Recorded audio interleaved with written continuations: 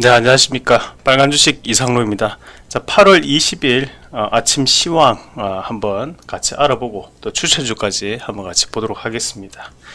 자 저희 월수목 오후 1시 30분 한국경제TV 이상로의 텐텐베거 어, 현재 저희 이름을 걸고 어, 진행을 하고 있습니다.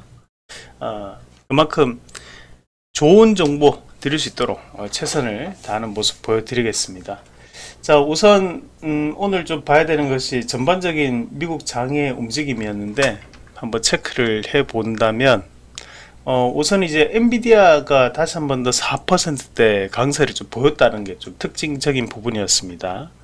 어, 마찬가지로 이제 AMD 같은 경우에도 어, 또4.5% 강세를 보였고 인텔도 3.1%또 강세가 나타났습니다.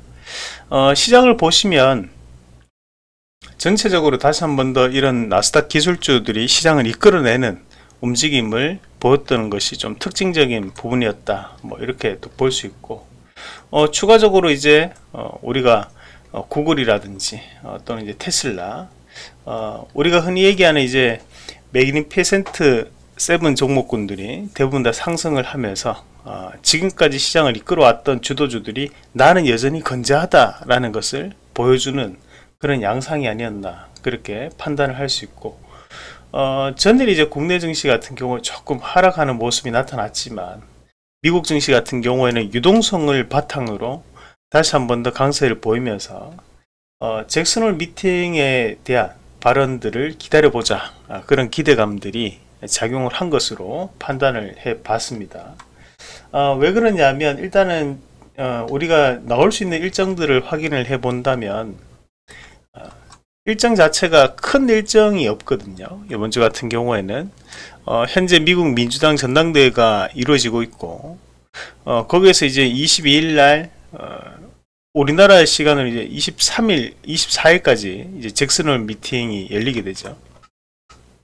뭐 이때 이제 제롬 파월에 대한 발언들이 나올 수 있는 부분들이고 나머지 일정들은 조금 제한적인 어, 상황 밖에는 나올 수 없는 어, 그런 부분이다 보니까 어, 지금 이제 어, 크게 시장에 대해서 악재성 이슈가 나올 수만한 게 전쟁 이슈였는데 그런 부분도 조금 어, 장기화가 되면서 시장의 영향은 조금 제한되는 모습들이 나타나고 있다. 뭐 그렇게 판단을 해야 될 것 같습니다. 지금 현재 시장은 포커스를 맞추고 있는 것이 9월달 금리 인하가 얼마 정도 어, 나타날 수 있는지 어, 그리고 이제 그런 어, 유동성에 대한 부분 자체의 기대감이 여전히 시장을 이끌고 있는 어, 주도주 패턴이라고 좀 보시면 될 것 같습니다. 음, 현재는 이제 긍정적인 경제 지표 이후에 어, 잭슨홀 미팅까지 이어지는 그 흐름이기 때문에 이것이 이제 가장 중요한 어, 현재 수급에 의해서 시장을 움직이고 있는 어, 과정이라고 좀 봐야 될 것 같고 그러면서 그런 수급에 의해서 미국 증시 내에서도 기술주들에 대한 강세는 여전하다. 그러니까 주도주는 바뀌지 않는다. 자, 반도체가 증시를 현재 주도하고 있는 흐름이 미국 증시 내에서는 나타나고 있다라고 볼 수 있습니다. 그럼으로써 이제 국내 증시에서도 반도체에 대한 하락이 어제 나타났었지만 이는 일시적인 부분이라고 보는 게 맞고 어, 전반적인 이제 바닥을 확인했던 바로 8월 5일 이후부터 시장은 그래도 점진적으로 상승에 대한 랠리를 펼쳐내고 있다라는 부분으로 어, 보시면 될 것 같습니다. 자, 그리고 여기서 또 중요한 부분이 있는데, 음, 지금 봐야 되는 것이 이제 환율이 전에 급격하게 하락하면서 외국인들에 대한 매도가 나타났습니다. 자, 1위가 의미하는 바는 뭐냐라는 건데요. 이게 이제 바로 내지적 해지라고 하는 어, 경제 용어가 조금 등장할 수 있습니다. 어, 왜냐하면 이제 워낙 약세가 나타났을 때 어, 달러를 가지고 우리나라에 투자를 하는 입장에서는 환차 손이 발생을 하게 됩니다. 근데 그런 환차 손이 발생했을 때 어, 미국 증시와 상관관계가 높은 한국 시장의 기업들 주가에 대한 상승이 나타난다면 어, 그런 환차 손을 상쇄할 수 있다는 거죠. 어, 하지만 환율이 하락을 했기 때문에 그 정도에 대한 환차손이 필요 없어지게 되고 그죠? 그렇다 보니까 어, 외국인들이 다시 한 번 더 매도로 어, 보이는 그런 현상들이 나타났기 때문에 전일은 외국인 매도 이었고 매도 나타났고 어, 그렇다 보니까 환율에 대한 하락이 외국인 매도에 대한 하나의 빌미가 되었다. 뭐 그렇게 볼 필요가 있을 것 같습니다. 어, 코스피 지수를 잠깐 한번 체크를 해 본다면 코스피 지수 자체가 어, 지금 이제 앞에서 이루어졌던 갭, 이 갭을 이제는 메꿔내고 어, 추가적으로 이제 하락을 했던 자리까지 지금 올라오는 그런 양상들인데 어, 우리가 이제 시가가 이런 것들은 지금 여기 2700포인트 선 자체에서 시가가 이제 형성이 되면서 한번 크게 하락을 했던 구간들이었습니다. 어, 보면 이제 21선도 그렇고 여전히 매물대도 상당히 두꺼운 것을 볼 수 있습니다. 어, 그래서 그 부분을 돌파를 했다는 것들로 우리가 보기는 좀 힘들지만 어, 여전히 이제 이 물량을 좀 소화를 해야 되는 어, 우리가 이제 미국 증시에 비해서는 국내 증시 조금 약한 흐름이라고 봐야겠죠. 그래서 어, 미국 증시가 이런 우상향에 대한 움직임이 좀 나타난다면 앞에 있던 이 매물대도 소화는 해낼 것이다. 자, 그리고 코스닥도 한번 같이 보신다면 코스닥도 급락에 대한 부분으로 지금 이제 메꿔내는 모습들인데요.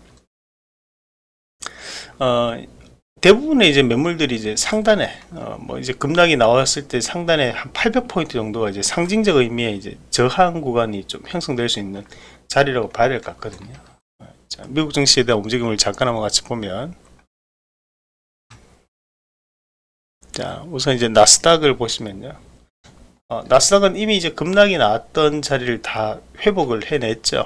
그죠 그래서 미국 증시가 글로벌 증시의 주도주라고 본다면 어, 이미 돌파가 됐던 거고 그리고 한국 증시가 미국 증시를 따라가는 입장이라면 어, 뒤에서 어, 미국 증시가 좀 더 올라왔을 때 뭐, 포인트로 본다면 한 요 정도 우리가 적어도 18,000포인트 이상으로 넘어왔을 때 국내 증시도 매물권력을 소화하면서 쫓아가는 그런 움직임을 볼 수 있다라고 말씀을 드리고 어, 우리가 이제 오늘장 좀 눈여겨볼 수 있는 어, 종목군들도 한번 같이 본다면 우선 이제 카페 24 어, 이런 것들. 어, 지금 한번 좋은 위치가 또 올라왔기 때문에 다시 신고가를 좀 바라볼 수 있는 어, 이 카페 24가 과거에는 이제 음, 인터넷 홈페이지 어, 개설을 할 수 있는 시스템을 구축하는 그런 업체였는데 어, 최근에 이제 유튜브와 협력 관계가 좀 더 부각되는 그런 효과가 좀 나타나고 있습니다. 유튜브 쇼핑 관련해서 매출이 나오고 있는 상황이기 때문에 카페24가 재평가를 좀 받을 수 있다. 어, 두 번째는 이제 마이크로 디지털 마이크로 디지털 같은 경우에는 미생물 관련 배지를 생산하는 기업입니다. 그래서 어느 정도 기술력을 가지고 있는 기업인데 이런 것들은 이제 개별적인 움직임을 좀 봐줘야 되거든요. 어. 특히 이제 최근에 올라왔던 흐름들은 어, 2021년도 이후 3년 만에 이제 올라오는 흐름이죠. 어, 그렇다 보니까 지금 이런 식으로 올라올 때는 새로운 흐름이 나올 수 있다고 봐야 돼요. 그래서 이 기업 마이크로 디지털 말씀을 드리고 자 한올바이오파마 자, 한올바이오파마는 마찬가지죠. 과거에 기술 이전 이슈가 있었고 어, 이번에 다시 한 번더 어, 상승하고 있는 과정들인데 어, 이런 것들은 보면 이제 돌파 검색기에 두 번 연속으로 어, 지금 이제 추출이 되는 모습들인데 자 요럴 때 요런 이제 신호가 떴을 때는 어, 강력한 매수에 대한 어, 신호로 우리가 받아들이기도 합니다. 어, 그래서 하늘바이오파마 과거에도 한번 소개를 해드렸던 기업인데 어, 지금 추가적인 어, 상승에 대한 운동력을 좀 가지고 있다고 보고 수익성 개선에 대한 부분이 3분기에도 이어질 수 있다 라고 판단을 한번 해봤습니다. 그래서 하늘바이오 파마까지 한번 눈여겨보시는 그런 하루가 되시길 바라겠습니다. 자, 저희가 휴가 관계로 어, 이번에 다시 한 번 더 20일부터 또 영상이 또 진행이 됩니다. 자 어, 시장 다시 돌아왔으니까 저하고 또 즐겁게 주식 투자 하시길 바라겠습니다